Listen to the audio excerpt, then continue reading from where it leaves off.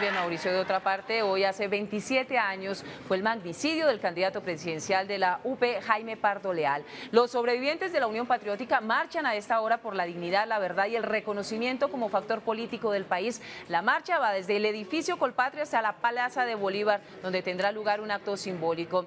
José Manuel, buenas tardes. Omar televidentes, efectivamente hoy se cumplen 27 años del asesinato de Jaime Pardo Leal, primer presidente de la Unión Patriótica, y hoy se han reunido los sobrevivientes del genocidio de este partido político para decirle a los colombianos que hay dignidad, que hay que buscar justicia y que hay que recordar a todos esos colombianos que enfrentaron su vida por un partido, por unas ideas diferentes. Me encuentro con doña Arminda de Jesús Restrepo, sobreviviente de la masacre de Segovia, Antioquia, en 1988, doña Herminda, ¿cómo fueron esos momentos?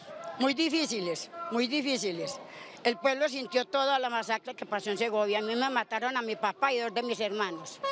Pero eso es duro, es duro. ¿Qué ha significado ser parte de la Unión Patriótica? ¿Qué es ser parte de la Unión Patriótica? Yo me siento bien siendo parte de la Unión Patriótica. Yo me siento bien siendo parte de la Unión Patriótica porque ya no quiero ser del Partido Liberal. ¿Cuál es ese mensaje que le manda usted como sobreviviente a los colombianos? Hoy que se habla de paz, hoy que se habla de memoria, de reconciliación. La paz hay que construirla, hay que sembrarla, eso no nace así porque así. Hay que sembrarla y saberla sembrar. Hermina, muchísimas gracias. Pues esas son las palabras de una de las sobrevivientes de la masacre de Segovia.